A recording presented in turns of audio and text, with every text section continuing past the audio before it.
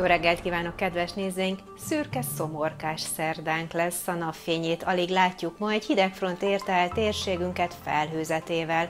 Ezért bár a hajnalra képződött párásság és köd általában megszűnik, de a front felhőzete miatt erősen felhős vagy borult időjárásra készülhetünk. Eleinte a Dunántúlon, a későbbiekben a középső területeken is várható eső, záporeső.